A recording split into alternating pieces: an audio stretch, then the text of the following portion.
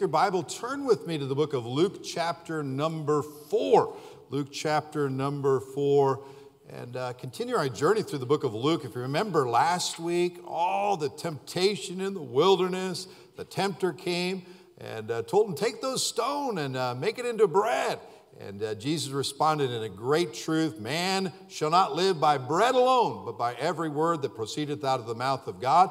And uh, great truth, he showed us he needed bread but start with the spiritual. Get that spiritual bread first, the Word of God.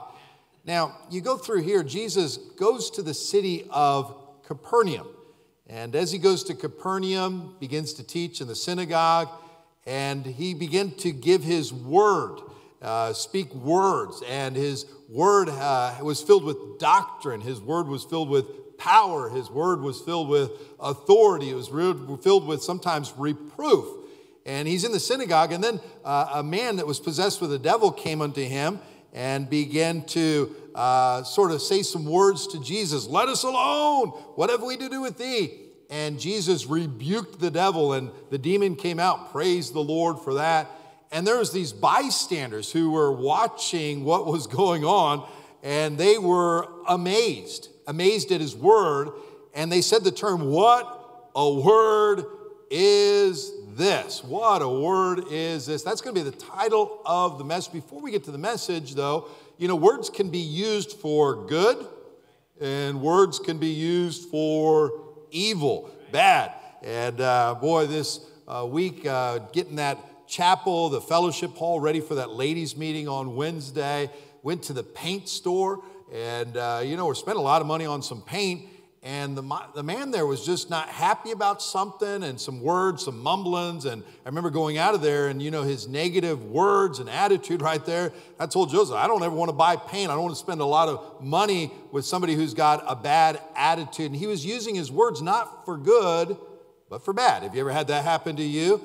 And uh, in truth, we've all been on that other end where we've used those words not for good, have we not? Yes. And then you can use your words for good. I was reading a book about B.H. Carroll, a prominent Baptist from the past. And uh, back in World, uh, World War, no, Civil War, back in the Civil War, he had uh, joined the army and he was an infidel, meaning he was an unbeliever. And uh, he got wounded in the Civil War, went back home, became a school teacher, walked with a limp. And boy, he, he just had a, a really a bad attitude, was very anti God, anti Christ, very smart, uh, but he was invited to a revival and he went the first night and the preacher preached and he went again and he went again. And at the end of one of the sermons, the preacher came down and he said, I want to talk to you folks out there that are unbelievers. I want to talk to you folks that are infidels. He said, The Bible says in John chapter number seven, if any man will do his will, he shall know of the doctrine, whether it be of God or whether I speak of myself. And then he encouraged, he said, Listen, you may not be saved now, but just start doing his will. And God will show you very quickly that his will, he is God, he is the way, he is the truth. And uh, boy, uh, B.H. Carroll began to walk the aisle, not to get saved, but he was making a commitment to try to do his will to figure things out. And people got excited. Uh, but a few days later, after trying to do his will, boy, God opened the door and he trusted Christ. Uh, words can be used for good, words can be used for evil. Let's do this. Let's stand for the reading of God's word. We're going to read here Luke chapter number four, starting in verse 31, and we're going to go through verse 37. What I'll do is I'll read verse number 31 and we'll do every other verse, starting in verse 31. And came down to Capernaum, a city of Galilee, and taught them on the Sabbath days. And they were astonished at his doctrine for his word was with power. And in the synagogue there was a man which had a spirit of an unclean devil, and cried out with a loud voice, saying, Let us alone. What have we to do with thee, thou Jesus of Nazareth? Art thou come to destroy us? I know thee who thou art, the Holy One of God. And Jesus rebuked him, saying, Hold thy peace, and come out of him. And when the devil had thrown him in the midst, he came out of him and hurt him not. And they were all amazed and spake among themselves, saying, What a word is this! For with authority and power he commanded the unclean spirits, and they come out. and the fame of him went out into every place of the country round about. And in verse 36, they were amazed and they began to say, What a word is this? What a word is this? Say that, say that phrase with me one time. What a word is this? Boy, Jesus' word filled with doctrine, filled with power, filled with authority, filled with rebuke. And they got there and they're listening to it. They're amazed. What a word is this? That's the title. Before we go any further, let's stop, bow our heads, go to the Lord in prayer. Dear Father in heaven, we do love you. And uh, in reality, we love you because you first loved us. Thank you for coming 2,000 years ago, born of a virgin, living a perfect life, and giving us the gift of eternal life. Boy, thinking back to that time, uh, oh, the, the devil being cast out of that man, and your word of uh, authority, your word with power, your word with rebuke, your word with doctrine. And uh, truly, what a word is this? And I pray that you help us to think about your words and then help us to stand in awe of your word. We love you. Lord, if there's a soul here this morning that's not saved, I pray that it be saved. In Jesus' name, amen. You may be seated. Oh, the Lord Jesus Christ. Can you imagine? You know, what would have it been like to be in that little city on the north shore of the Sea of Galilee when Jesus came to town, going to the synagogue? Boy, I would have, I believe I would have loved to have gathered around and to listen to his voice, listen to his word, listen to what he had to say. And you can imagine him spake with power, spake with authority, spake uh, words filled with doctrine, with rebuke. And boy, to watch that, they were amazed. And we think about, uh, as the Bible says, never a man spake like this man. And uh, Jesus, God in the flesh, Jesus is the Word. Jesus is the Word. By the way, I use a Bible program. Sometimes it's called Logos or Logos, and uh, it's very interesting. The word Logos is in the Greek, it means the Word. And uh, supposedly, with the, the software program right there, you're able to study God's Word better. But Jesus is the Word of God. Take your Bible, if you will. You're going to hold your place there in Luke chapter 4, but go to John chapter number 1. John chapter number 1 a well known passage of Scripture, John chapter number one, verse number one. The Bible says, In the beginning was the Word, and the Word was with God, and the Word was God. Now, I'm going to slow it down a little bit. I'm going to read that verse again. In the beginning was the Word, and the Word was with God, and the Word was God. Then it continues, the same was in the beginning with God. All Things were made by him, and without him was not anything made that was made. In him was life, and the life was the light of men.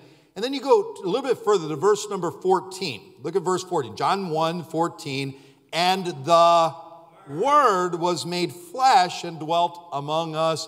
Jesus is the Word, the Word is God, and uh, the Word became flesh to dwelt among us. Now think about that. Jesus is the Word. You, you find this throughout the scriptures. You can go through scripture after scripture. First John chapter 5, verse 7 says it like this: For there are three that bear record in heaven, the Father, the Word, and the Holy Ghost, and these three are one. You'll, you'll find this uh, saying that Jesus is the Word in places like Luke chapter 1, verse 2.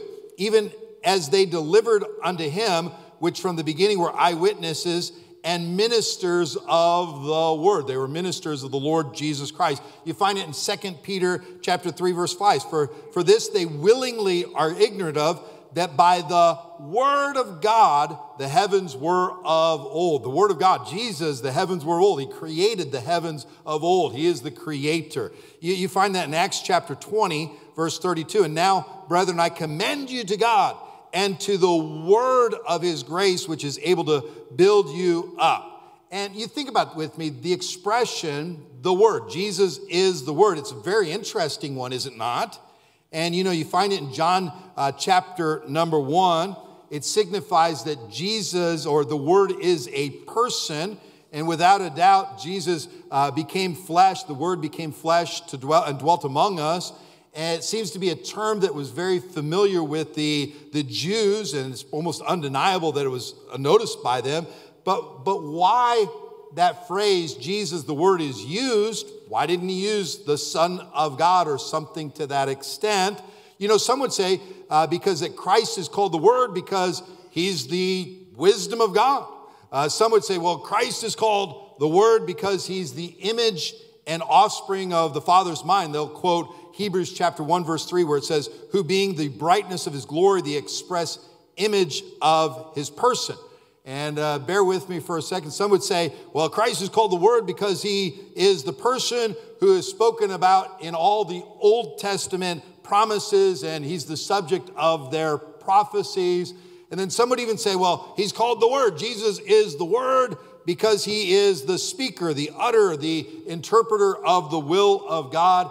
And they would quote Hebrews chapter 1, where it says, God who, uh, God who at sundry time and in diverse manners spake in God, spake in time past unto the fathers by the prophets, hath in these last times spoken unto us by his Son.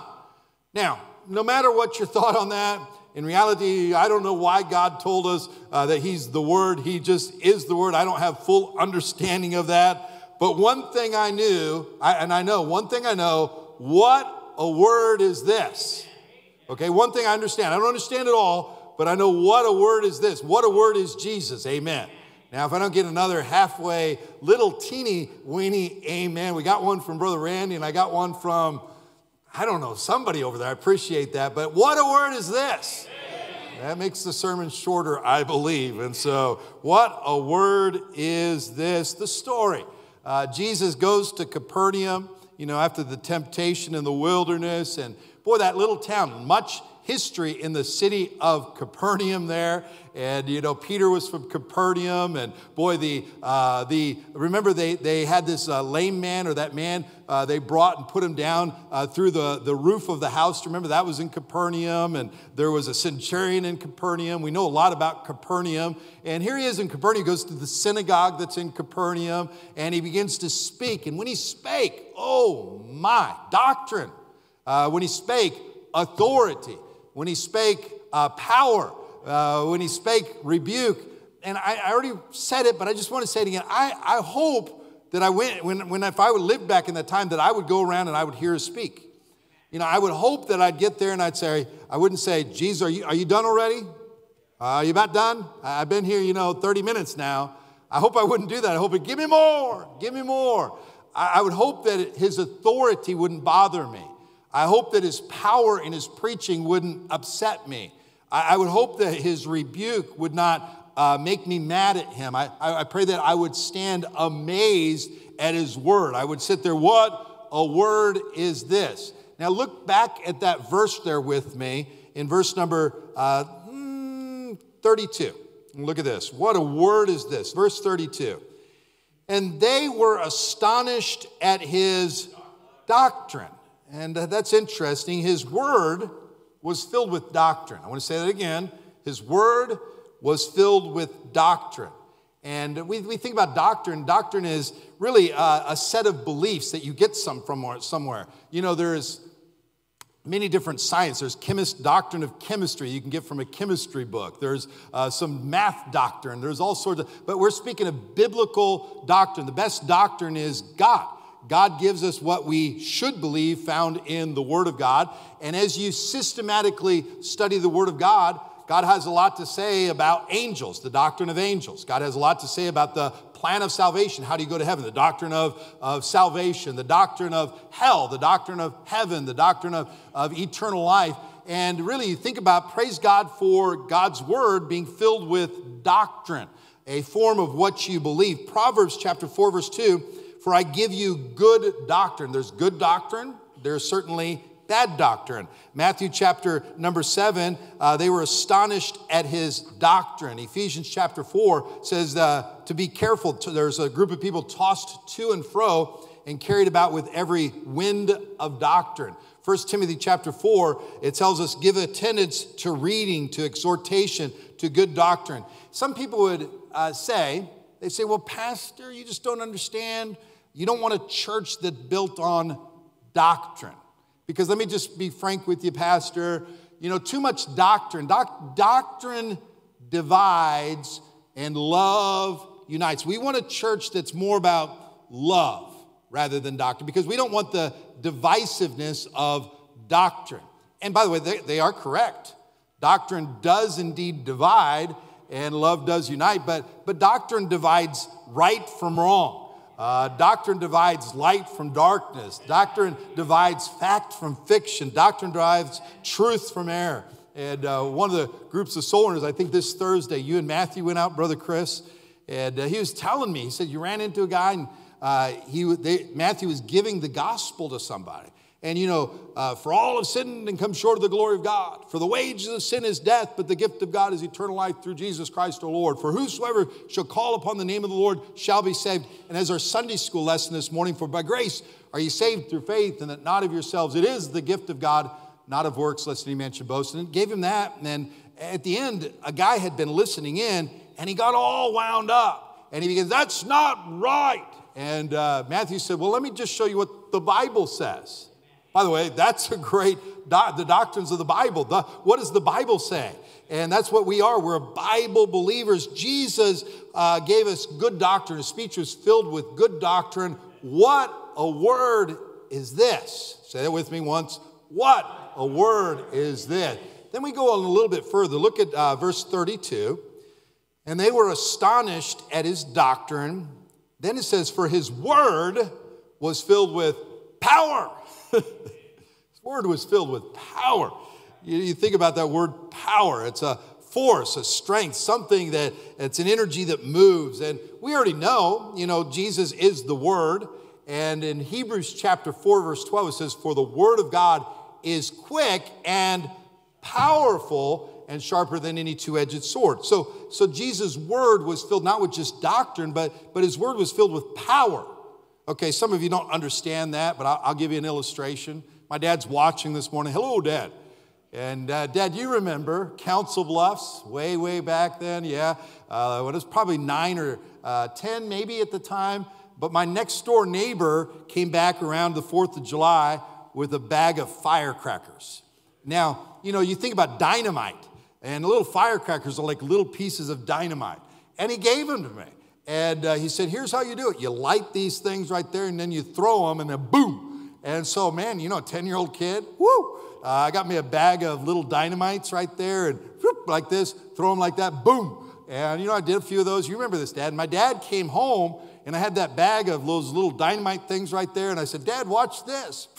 And whoop, throw like boom. And I, I just saw my, I remember it, Dad. You may not remember it, but I remember it, Dad. You, you gave me that look like I'm going to blow my hand off. And because those little things, if I was not careful, boom, right in my hand, I could hurt myself pretty bad. And uh, those little, uh, little things, sticks of dynamite are powerful. Okay, some of you still don't go, so I'm going to go a little bit lower on the bottom shelf to help you understand power. And uh, this, this will help you, okay? Some of you need a little bit better of an illustration. My little Amos, he's one and a half, going a little, almost two. And uh, little Amos, you know, he came, came into my office yesterday. And I've got some tools. I get these, they're like magnetic strips, and I'll hang my tool way up high. And, you know, sometimes the magnetic strip, it doesn't hold those tools very well. And I have a little hammer. And somehow that little hammer landed on the floor. And Amos, sometimes he'll come into my office and he knows, he knows that he shouldn't touch something, but he'll get it and he'll hold it. And he, he was holding that little hammer, just a little hammer, and he just smiles at me. It's like, I got you, Dad. I got you. And I said, No, no, Amos, give me that thing and hammer. And so I took the hammer from him, and the big poochy lip came out. Now, I wasn't a very good dad because a good dad would put the hammer back up here. I didn't do that. I just sort of set it on my, my dress or my desk right there. And next thing you know, you know, he somehow snuck that little hammer. And it may seem like a little hammer, but that hammer is powerful. And that hammer has the potential to destroy. Well, not doesn't have the potential to destroy because a few minutes later, uh, somebody was getting onto Amos in the living room, probably banging on some walls and some furniture. That little hammer had power. And uh, you think about the Lord Jesus Christ, His Word had doctrine, His Word had power. And what a word is this? What a word is this? What a word is this? Okay, I'm going to buy little hammers for all the parents in here that have little kids. I'm going to give those out next week so you understand this illustration better. And uh, what a word is this? Go back with me, if you will, to verse number 35. 35. And it says right here in verse 35 And Jesus rebuked him, saying, Hold thy peace and come out of him. And you see, Jesus' word not only had doctrine, not only had power, but, but Jesus' words also had rebuke. Do you understand that? Had rebuke. In other words, he, he chided that devil, he, he reproved that devil. He was basically chastening that devil in some way. And, and Jesus rebuked the man possessed with the devil. And you know, in, in second or second Timothy chapter 4, verse 2, preach the word. Remember that? Preach the word. And then it says, be instant in season, out of season, reprove, rebuke, uh, and exhort with all long suffering, and there the word doctrine. And so Jesus' word did have doctrine, it had power, but also his words uh, were rebuking words. Now, to help you understand this, I remember, oh, years ago, there was a, a good man, but doing some things that were not right. And I remember as a pastor, I just needed to talk to him about it. I needed to rebuke him and say, hey, knock it off. And I went to that man and uh, very frank with him. I said, you can't be doing this. And I was kind. Of course, we restore such one in the spirit, spirit of meekness, but it was rebuking words. You can't do this. It's bad, not just for you, but it's bad for the people around you. And, and praise God, that man had a humble spirit. He said, Hey, Pastor, you're right. And then knocked it off. And it took a, a terrible situation and turn it into something glorious. But there is a time to rebuke. There is a time to say, hey, this is wrong. There is a time for the Word of God as we read it to rebuke us. You think about the people reading through the New Testament. I, you know, read the New Testament this month, but there was some encouragement in the New Testament, praise the Lord. But there was points in the New Testament this month as I read them that rebuked me that said, Hey, Pastor Matt, and God doesn't call me pastor, you know, but the Bible says, you know, points to me, but hey, knock it off, uh, get right. And how do we approach the rebuke of the words of Christ? Hey, we think about the rebuke of God's word. What a word is this? Words filled with doctrine, words filled with power, words filled with rebuke. Look at this next one, if you will, and uh, look with me at verse number 36. This is so interesting. And they were all amazed and spake among themselves, saying, What a word is this? Say that phrase with me. What a word is this? Then he describes it. For with authority and power he commanded the unclean spirits, and they come out. Authority, power that should be submitted to. And uh, the words of Jesus was, has power, but they, they have authority that should be submitted to.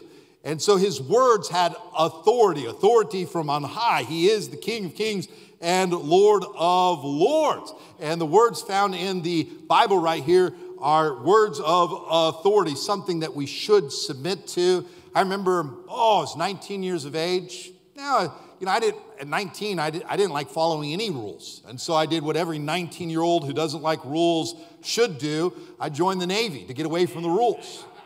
That's what I did, yeah. No more rules. I was in the Navy. And so I got to boot camp and I went to Orlando to boot camp in, uh, boy, that was December. And in boot camp, 1993, uh, boy, they're so nice to you when you first get there. Oh, we love having you here. They keep you up till like one in the morning. And that's what they did. They kept you and they put you in this room. They said, Go to bed, have a good night's sleep. And then it was like four or five in the morning, some man began to yell and scream and threw a trash can down the middle of the barracks right there. And he said, Everybody on the line! And I don't know, it scared me half to death. I jumped out of there. I don't even think I jumped. I think I just leaped out of there and landed on the ground right there. And I got on the line.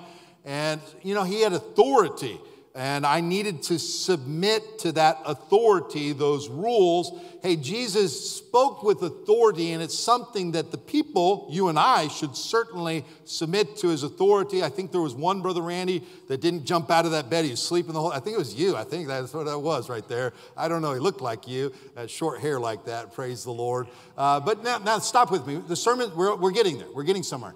Jesus' words, filled with doctrine Jesus' words filled with power, Jesus' words filled with rebuke, Jesus' words filled with authority. You can see him. What a word is this? But, but look at this. Look, look back with me at that verse 36. And they were all amazed. They were all amazed and spake among themselves, saying, What a word is this? In other words, they, amazed, they were astonished, they were confounded. There was some fear inside of them, the fear of the Lord, uh, some surprise, some wonder. Um, there's a verse in Psalm 119 that describes it very clear. Psalm 119, verse 16, it says, But my heart standeth in awe of thy word. In other words, wow. You know, they, they, they, they looked at the word of the Lord Jesus Christ, the doctrine, the power, the, the rebuke, and the authority, and, and there was uh, some awe to it. There was an awe of the word. There was some wonder. There was some fear. There was some amazement. It was awesome. It was wonderful. It was amazing. Amazed. They use the word amazed, right? You understand that? Okay, good. Now, there's a problem though, because you, you think this is where it goes for you and me. How would you have responded to the words of Christ? Would have you been amazed? Would have you stood in awe of his word? Now, I like to think I would, but we fast forward today. Here's where we're getting. We're, we're just slowly coming in here. We, we, can have, we can think back to what we would have done 2,000 years ago, but what do we do today with his word? Because this book is filled with doctrine, this book is filled with power, this book is filled with rebuke, this book is filled with authority. And how do we stand in front of this book. This is the words of the Lord. He is the Word. Jesus is the Word. Um, there's a problem because today there's sort of a, an issue, a little what I call sort of shock value. You have TV, the shock value of commercials. Uh, you have YouTube and Facebook and TikTok and Instagram and you know there's probably a new one that I don't even know about that's for the new people that they're way ahead of me and all that stuff. But there's so much on there that has shock and awe that all of a sudden, sometimes we're not careful. We get to this book, and yeah, we know it's filled with doctrine. We know it's, we know it's filled with power. It's the Word of God. We know it's filled with rebuke. Uh, we know it's filled with authority, but we don't stand amazed at the Word of God. You know, we don't, uh, you know, we don't stand in awe of His Word. For, for example, you know, earlier we were talking about the Word. Remember, in the beginning was the Word, and the Word was with God, and the Word was God. The same was with God. All things were made by Him. Without Him was not anything made that was made. In Him was life, and the life was the light of men. Then we got to verse 14. The Word became flesh and dwelt among us. And then we went to John chapter 5, verse 7. Uh, the Father, the Word, and the Spirit, these three are one. And then we went over to, to Luke chapter 1, verse 2. And then we went over to, uh, oh, to 2 Peter chapter 3, verse 5. And you know, if I'm careful, we just like, oh, you know, we don't stand, we're sort of bored. We're not standing in awe of his word. And it's something, you know, we've got to be careful of. B.H. Carroll, remember B.H. Carroll, the infidel? And boy, a great sermon to read, My Infidelity and What Became of It. What a, a neat sermon that he, he took his, his life story and, and preached a sermon. Uh, but B.H. Carroll, at a young age, started to read about 300 pages a day. And he read a book a day uh, for over 50 years biographies, the Bible, he read from cover to cover over and over again. And I read his biography, and he was mentioning that, that he's got to be careful of the newspapers of the day. Because he'd start reading the paper, and he said, if I, if I read too many of the newspapers of the day, it begins to affect my ability to stand in awe, basically what he's saying, to stand in awe of God's word. Nothing wrong with a newspaper, but he was saying that sometimes those newspapers hindered him from saying, What a word is this? You know, and I was reading that, I was thinking, man, you know, a newspaper, what about us today? Once again, you know, we, we think about us. I believe sometimes today uh, we're deadened, you might say. I don't know if that's a good word or we hinder or hurt our ability to read and study God's word because of our consumption of things that hurt us, our consumption of social media, our consumption of entertainment, our consumption of YouTube and Instagram, TikTok, Facebook.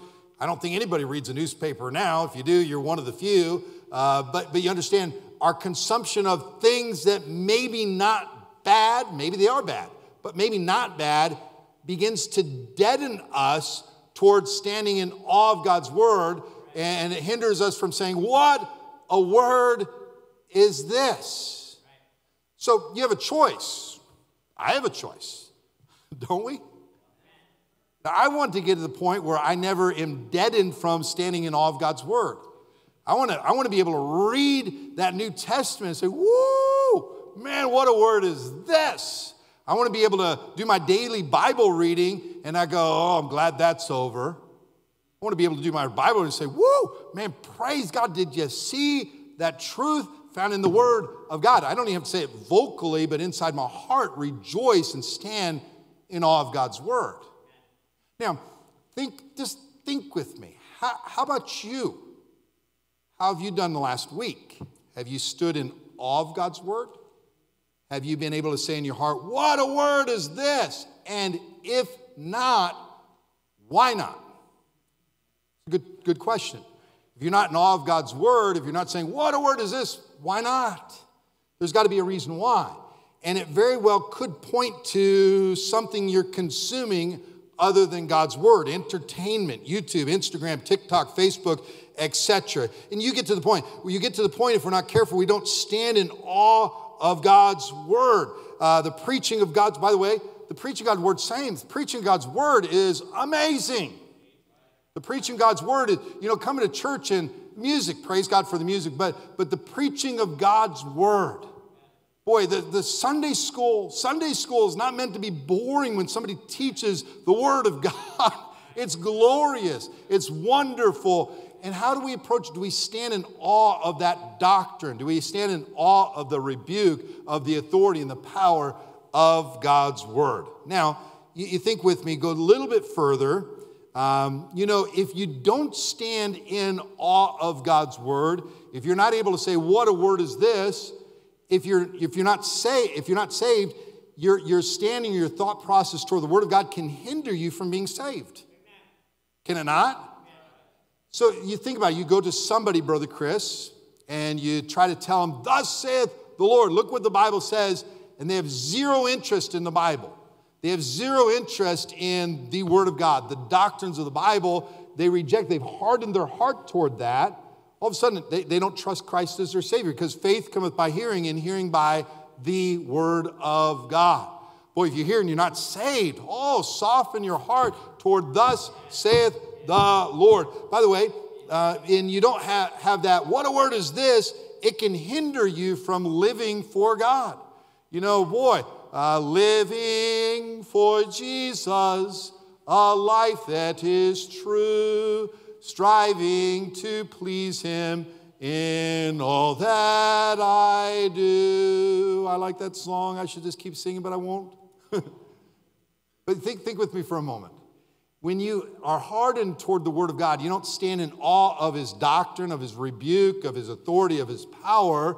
All of a sudden, you harden your heart, and next thing you know, it hinders you from pleasing the Lord and living for the Lord. The last one, when you don't stand in awe of the, the Word, when you don't say, What a word is this? Say that with me.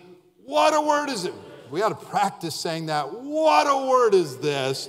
But if you don't say that, if you don't have that awe in your mind, it can hinder you from receiving a blessing. I didn't quote it, but we think of the Psalm chapter 1 Blessed is the man that walketh not in the counsel of the ungodly, nor standeth in the way of sinners, nor sitteth in the seat of the scornful. But the blessed man, his delight is in the law of the Lord, law of the Lord. His delight is in the law. His delight is in the law of the Lord. What is that? What a word is this? What is that? Standing in awe of the word. And he shall be like a tree planted by the rivers of water that bringeth forth his fruit in his season. His leaf also shall not wither, and whatsoever he doeth shall prosper. In other words, there's a blessing for standing in awe of his word. There's a blessing for saying, What a word is this? Okay, I'll help you. Brother, Brother Jordan, where are you at? I called you yesterday. Oh, yeah. And uh, you, you told me, you said, Yeah, Pastor, I'm going to get me some Domino's pizza. And man, I don't know. I, as a kid, I had a good friend that worked at Domino's, and I'd get Domino's pizza when I was in high school quite a bit. But the Domino's today is a lot. I mean, I haven't had it for a long time, but it, it's good. It's good. And so he said that, and I was hungry, and I didn't say nothing. But a little bit later, I called brother Taylor Sosman. He's in school up in Chicago, and I said, "Hey Taylor, how you doing?" He said, "Oh, doing good. School's not too hard. I got me a second job." I said, "Well, where are you working? What are you doing?" He said, "Well, I'm delivering pizzas." I said, "Well, for what?" For Domino's. And then he's delivering pizzas. And then he says, Yeah, I get to eat pizza all I want. And they got this pasta and they got this. And he starts describing the Domino's pizza to the glory of God. And so all I could think was, man, Jordan, he's going to Domino's. I, I, wonder if it's too late or not. So I said, Taylor, I got to go. I got to go. I got to call Jordan. He's going to go get some Domino's. So I hung up on him real quick, and uh, sorry for being rude to you, Brother Taylor, and called Jordan, and you were disgruntled slightly. I had to beg and I had to plead with you, but you had a lot of mercy. He said, Pastor, you want me to deliver it? I said, please, Jordan. So he went to Domino's yesterday. And, and as I, tur- I got off the phone with you, Brother Jordan, my door was closed in my office. And all of a sudden, about three or four seconds after I got off the phone, all of a sudden my door opens like this, and a sweet little girl begins to smile at me from ear to ear. And she said, Pizza, Daddy? She was listening in to all my conversation, intentively saying, What a word is this? She stood in awe of the word of pizza. And uh, then she gathered around. She brought reinforcements. She went and got her brothers, and they all stood around me and began to smile at me.